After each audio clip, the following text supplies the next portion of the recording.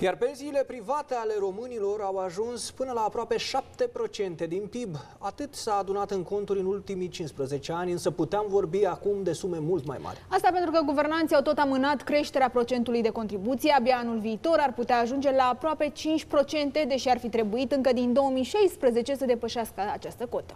Peste 8 milioane de români cotizează la acest fond de pensii privat, iar economiile lor au fost afectate de deciziile succesive ale guvernelor. Un angajat care a câștigat salariul mediu pe economie între 2008 și 2023 și a contribuit la pilonul 2 a strâns în cont aproximativ 36.000 de lei. Suma putea fi cu peste 30% mai mare dacă guvernul majora contribuția, așa cum își asumase inițial. Acum ne aflăm, să spunem, într-un oarecare proces de recuperare. Sper din toată inima că începând cu anul viitor vom vedea această creștere de la 3,75 la 4,75, care a fost legalizată de, de guvern și care nu așa este parte a angajamentului pe care România și l-a luat prin programul național de, de reziliență.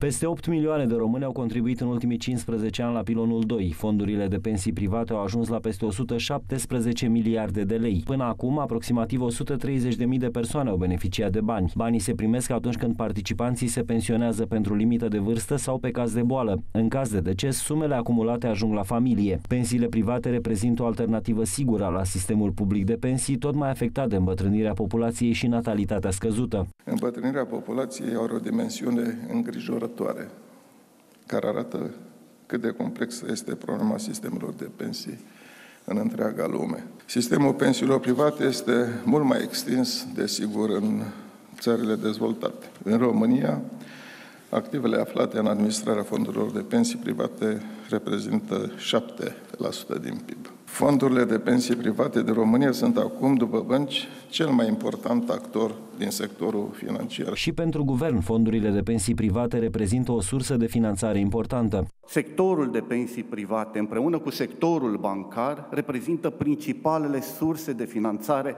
a datoriei publice interne.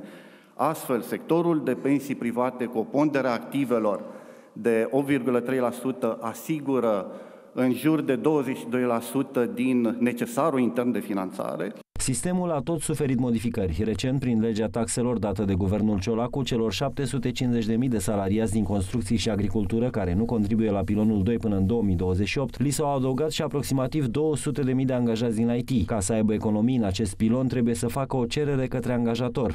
Dacă ați contribuit la pilonul 2 de pensii, puteți afla rapid online câți bani ați strâns. Mai întâi trebuie să intrați pe site-ul Autorității de Supraveghere Financiară ca să aflați la ce administrator sunteți alocat, dacă nu știți deja asta. Apoi vă veți crea un cont pe site-ul administratorului unde veți vedea toate contribuțiile virate în numele dumneavoastră și suma totală.